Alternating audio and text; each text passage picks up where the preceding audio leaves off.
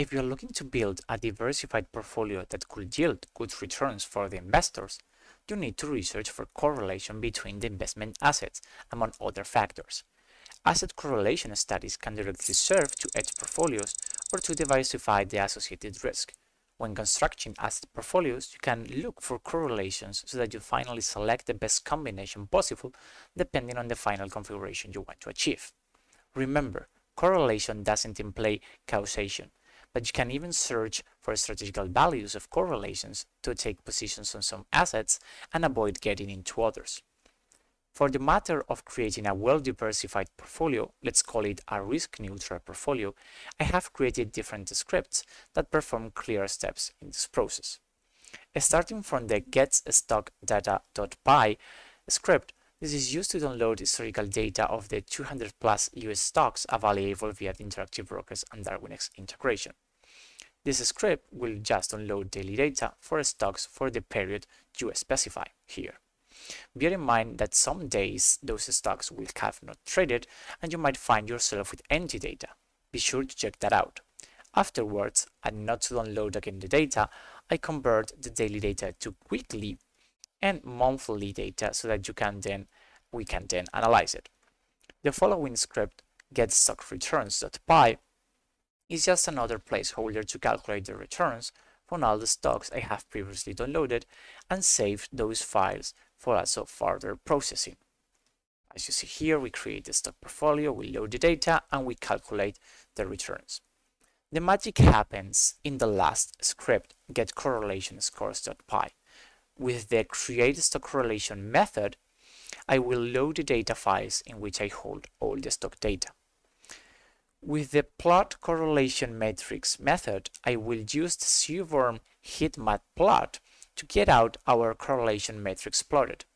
This is just for illustrative purposes so that you can expect the data you get with the core method in pandas.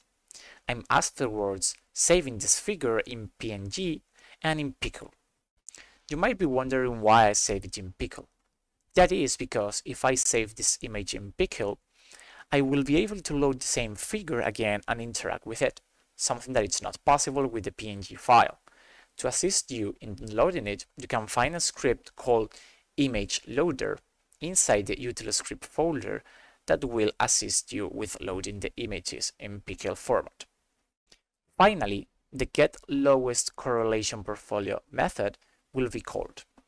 In this method, I will calculate the less correlated portfolio of assets based on an initial asset universe and a final quantity of assets on hold. To generalize the hypothesis and research, I will look for portfolios with the lowest correlation near zero and the lowest negative correlation. In this case, I'm assuming that the portfolio weights are the same between the different assets, so that I can just directly add the correlation values of the different birds I will be looping. In this method, I will create combinations of any X assets that I might own Let's say that you want to create a portfolio of six assets. You need, just need to put a six here in the second parameter of the function, depending on the strategy you want to create in terms of capacity. You can even build a bigger or a smaller portfolio. The algorithm is simple.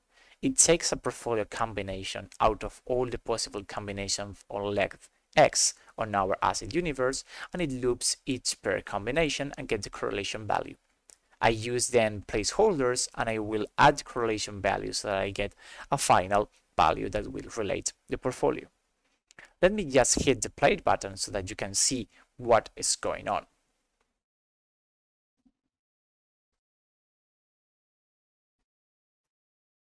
Here you have the correlation matrix out of 20 assets of our asset universe. If I close it, the optimization will start. As I'm doing this study for daily, weekly, and monthly data, I also get the correlation matrix for that data just plotted after the optimization process. As you can see, if I close this up, I will get another iteration. Wait a bit.